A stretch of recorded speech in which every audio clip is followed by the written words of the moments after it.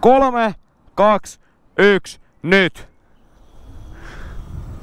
Nyt on viivat, hurjat viivat, Super Soko TC vastaan TS ja kyllähän siinä nyt niin kävi, että toi TC voittaa kyllä huomattavasti. Siinä on tosiaan 3000 wattin eli 3 kilowatin sähkömoottori ja tässä TS on vaan 2400 wattin eli 2,4 kilowatin sähkömoottori. Ja noin 53 nyt on tällä hetkellä lukee tässä mittarissa, eli aika haipakkaa mennään.